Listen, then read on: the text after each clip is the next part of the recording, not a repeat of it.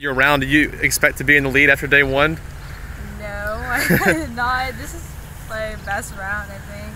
Yeah. So it was pretty good. I had like a couple of three putts that I could have done better, but it, overall it was really good. Yeah, so you got to be pleased after coming. Uh, had, had you ever played this course before? Yeah, I Uh, played it yesterday. what were your, uh, I guess, first thoughts coming in yesterday, and, and did it change anything change from the way it played today? Um, yesterday it was pretty tough, but it got easier today. We actually took like a bunch of notes today, but I lost them. but I remembered everything, and it worked out today. I played a little more aggressively today. Okay.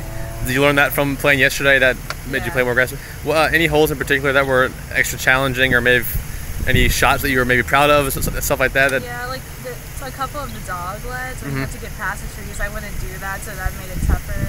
I forget what number it's like five or something. Right. That was kind of tough, but overall it was pretty good.